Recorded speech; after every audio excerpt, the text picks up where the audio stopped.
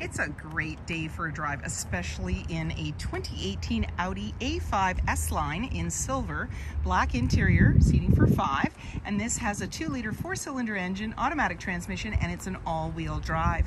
You also have the reverse camera, a power moonroof, as well as many other features. If you'd like to take this vehicle out on a test drive, you can book it online at islandford.ca. Stay tuned. We're going to have a look under the hood and inside and out. This is a 2-liter 4-cylinder engine paired with an automatic transmission and it's an all-wheel drive. Let's have a look inside. And speaker in the door as well as power locks, windows, and mirrors. There's also memory for two drivers and your driver's seat is powered. You have the A5 badging on the mats. They're all weather mats and you've got your lighting controls located here. And then on the face of the steering wheel, we have our menu located there as well as hands-free heated steering wheel, your nav. You also have your cruise control down below. And this is a push start. So we just put our foot on the brake, keys in the pocket and push the engine start stop. You also have paddle shifters, just one on the left here and the other one on the right. And then any important messages will be on your dash along with your um, odometer reading and other information as you can go through. In the center here, we're seeing our display screen. So right now we have got our map located there. And when we put the vehicle in reverse, we're gonna see our backup camera view. So it's just showing us the area behind us, how close other objects or vehicles are in. And we're just gonna put it back into park. A second. There we go. I'm in park. And we still have this view right now, but we can change the views and there's the menu down below so we can dial through for the different things. There's your map and your nav right located there, your radio with your media.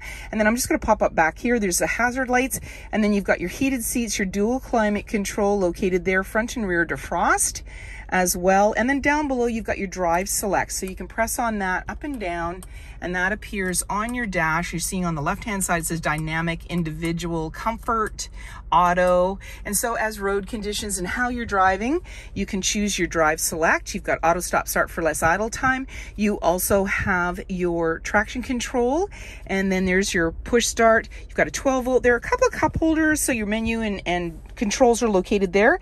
Your emergency parking brake. You also have your shifter here. And then down below, you've got your armrest that opens up. You've got USB and auxiliary lines, plus room to put things. Your glove compartment's off to the side, auto dimming, rear view mirror.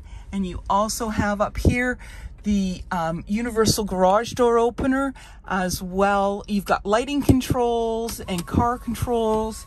And this is the screen that I've just pressed to go across so we can make it go the other way. And then we also have, I'm just gonna let that go and do its thing, beautiful blue skies today. And then this is your moonroof. So that just opens right up, give you some nice fresh air and you can head out and enjoy the day. 19 inch wheels, body colored door handle.